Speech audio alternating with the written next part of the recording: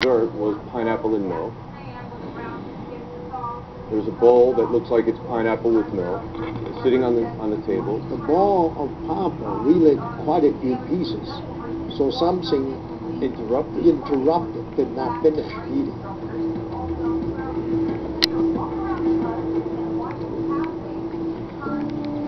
Dr. Spitz, do you want to look at the dining room?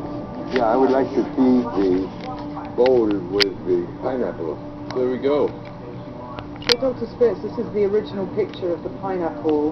What we know from forensics is that both Burke's and Patsy's fingerprints are on the bowl, and Burke's are on the, The tea. teacup.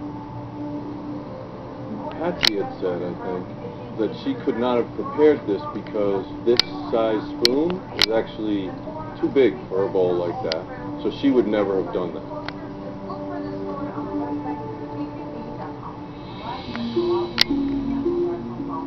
Did prepared himself some tea and pineapple and milk?